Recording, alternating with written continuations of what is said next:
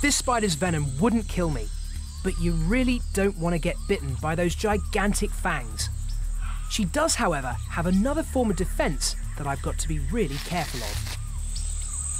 That kicking her leg against her abdomen, sending hairs up into the air.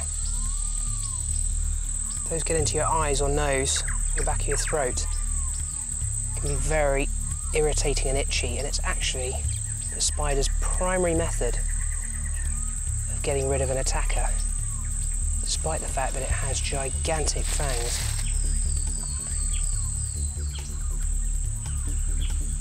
She's got fangs that are about as long as a cheetah's claws and a good deal sharper.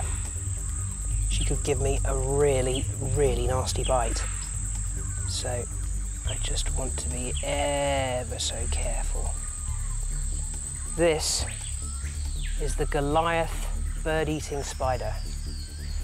Goliath was a giant in the Bible, and this is a giant among spiders.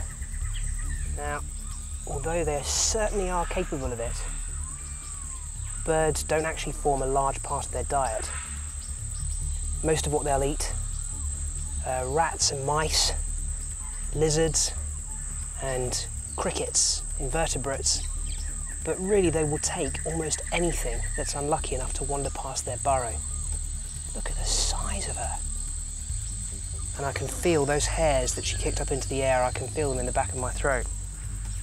And I want to cough, but it's not really a good time to cough with that on your hands.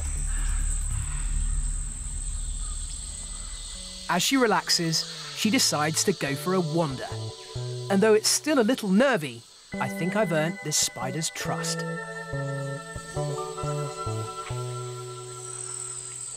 They really are very, very impressive. Look at that, just as she comes over the top of my finger. It's, um, it's something that never ceases to amaze me. This is an invertebrate. It's an animal that doesn't have a backbone. Um, its brain is absolutely tiny, but every single one of these spiders has their own individual personality. Some of them are incredibly easy to handle, others of them will bite almost instantly.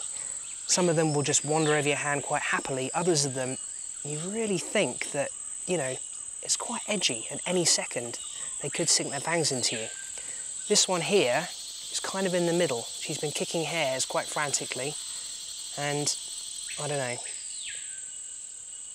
I think I'm probably quite close to getting a bite, which is why I'm sweating so much.